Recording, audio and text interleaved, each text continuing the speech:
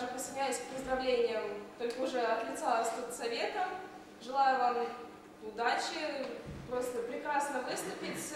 Мы, как сможем, поможем вам. Не знаю, сейчас дадим каких-нибудь идей, может быть. Э, мы всегда открыты к сотрудничеству.